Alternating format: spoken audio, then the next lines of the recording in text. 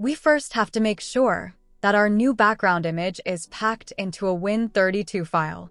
Create a new folder called Deploy Background on C.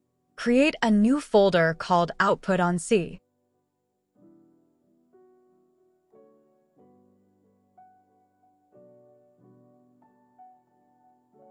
Copy your new background to the Deploy Background folder.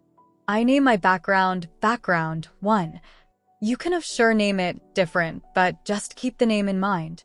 Now we need to download the official Microsoft Intune WinApp tool. Just search for it and click on the GitHub link. There download the executable.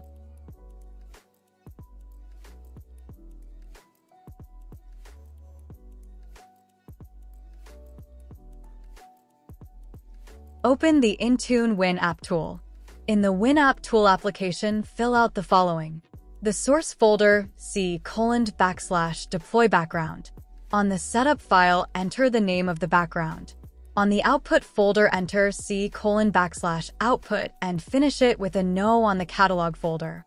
In your C colon backslash output folder, there should be a new Intune Win file. Go to intune.microsoft.com.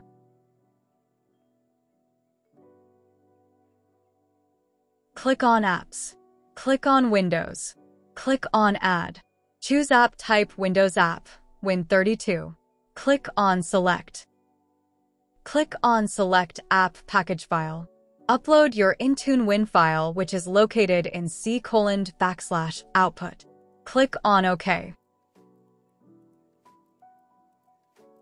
Here you can change the settings. I leave it as it is. Don't forget to enter a publisher.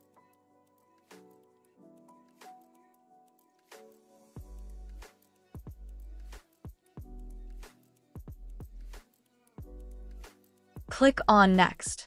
Here we need to enter the install and uninstall command. We will use a PowerShell script to copy the background to the wallpaper folder. Just make sure you edit the wallpaper name.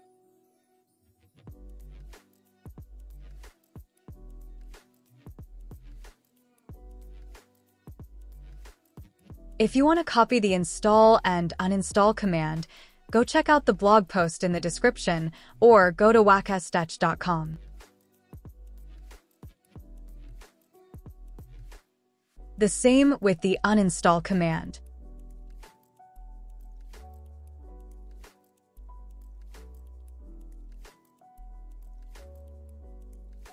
Enter the URL of the wallpaper folder and add your background name.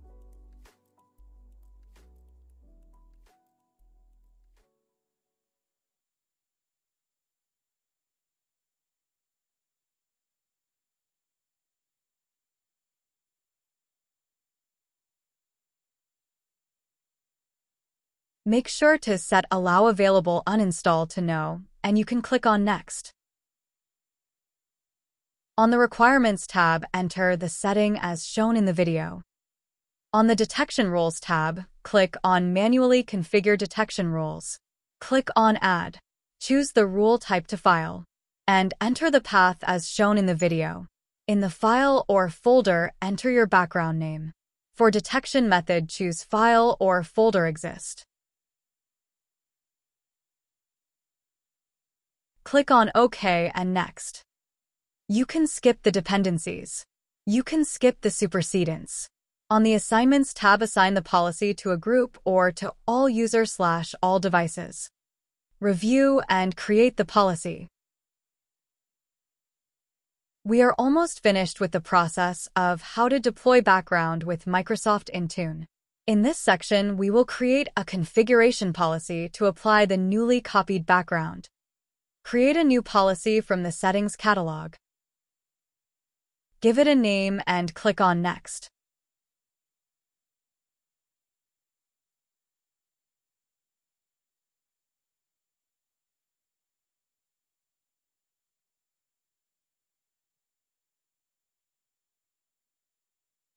Click on Add Settings. Search for Desktop. Click on Administrative Templates backslash desktop backslash desktop. Tick the desktop wallpaper, user, setting.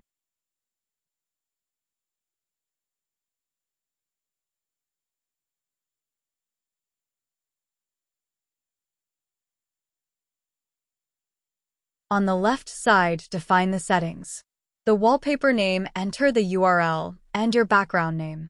Define your wallpaper style and click on Next when you are finished.